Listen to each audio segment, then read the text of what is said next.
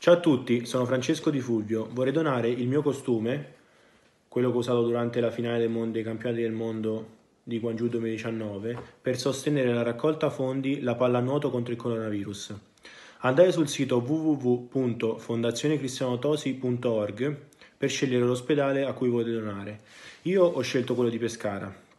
Mi raccomando, siate generosi e uniti ce la faremo.